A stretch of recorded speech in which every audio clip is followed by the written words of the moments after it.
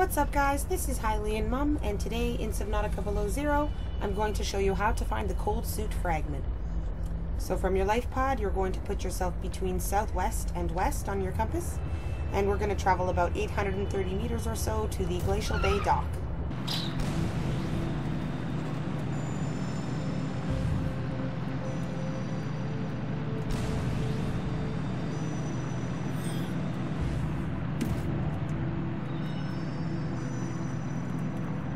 I usually go left around this iceberg because then it will take me between these two icebergs here.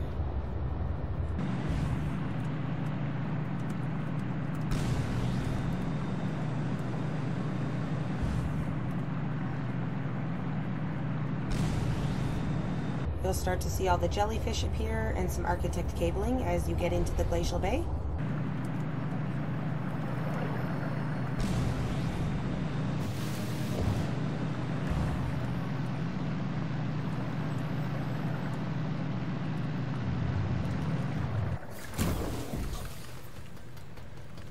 So from the Glacial Bay dock, we are going to continue between southwest and west. We're going to go up this slope straight ahead and along that path to the Phi Robotics Center clearing.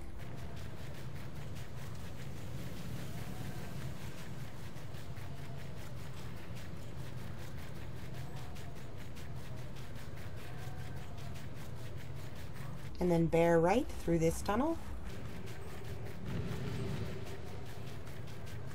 And here's the clearing, so I'm going to take the right path over to the door.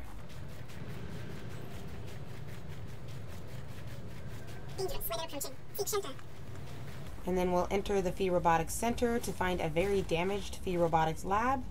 And we are going to go over to the left side and enter this room over here. And we come over here to Dr. Zeta Zeta Landon.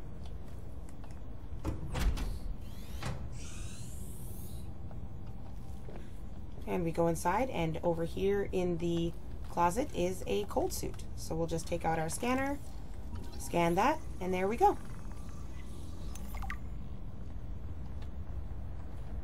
Voila. I hope this helps anybody who's looking. New blueprint synthesized. As always, be kind, stay legendary, and may the Triforce always be with you. Hylian Mom, out.